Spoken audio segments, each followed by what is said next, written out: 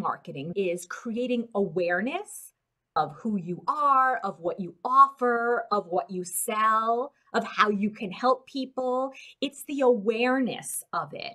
Sales is actually a transaction where people pay you to get access to what you offer. So, sales, for the most part, need marketing to get to that point because people don't buy if they aren't aware of it. And if they are aware of it but don't already know and like you or love you, and then trust that you can give them what they want, that you can deliver what you promise, they're not going to buy until all of that happens.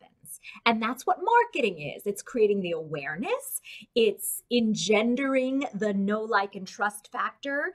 I say that in order for people to buy, they really need to love more than like. They need to feel a connection, they need to feel that trust and respect and really believe that you can deliver what you say you're going to deliver.